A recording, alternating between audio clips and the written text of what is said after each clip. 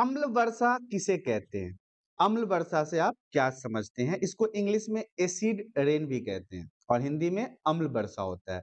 जब sulphur dioxide gas निकलती है, ये एक प्रकार का गैस है, जब यह निकलती है तो इसके अतिरिक्त पेट्रोल इंजन, नाइट्रोजन के गैसीय ऑक्साइड छोड़ते हैं। ये सारे जितनी भी चीज़ों का मैं नाम ले रहा हूँ, ये सभी एक प्रकार के गैस होते हैं।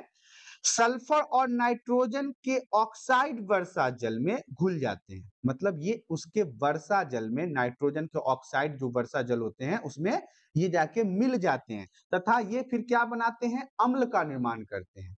और ऐसी वर्षा अम्ल वर्षा कहलाती है, जो फ़सलों के लिए, भवनों अर्थात की घर के लिए, मृदा के लिए अर्थात ज़मीन के लिए बहुत ही हानिकारक होते हैं। सबसे पहले तो आप ये जान लीजिए कि जो एसिड रेन होता है, ये हमारे फ़सलों के लिए, भवनों के लिए मतलब बिल्डिंग्स हो गए, घर हो गए, वैसे ज़मीन जिसपे हम खेती करते हैं, इन सभी के लिए एसिड रेन बहुत ही नुकसानदायक होता है।